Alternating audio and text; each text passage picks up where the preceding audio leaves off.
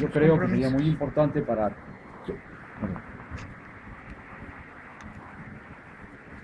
Gracias.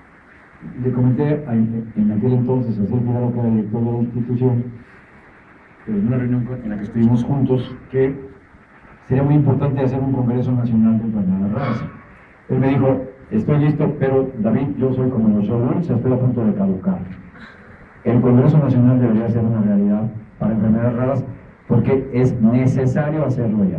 Entonces yo retomaría el tema del Congreso Nacional de Enfermedades Raras, auspiciado desde la estructura del ISTE, con la participación de todas las instituciones que aquí están representadas, más otras, todas las que se quisieran adherir, como primer punto.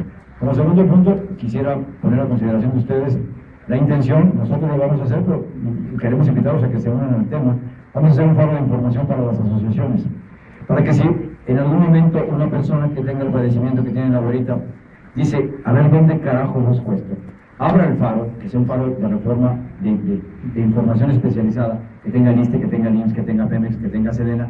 Consulte el faro si usted tiene un padecimiento poco conocido o raro, ahí pueda saber quiénes son quienes pueden abrevar hacia él soluciones.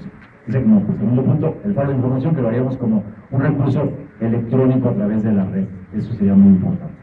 Y luego la tercera, algo que acaba de comentarme que me pareció una idea genial, hacer un manual para el paciente con enfermedades raras que tenga derechos y obligaciones para cualquier institución a la que pertenezca.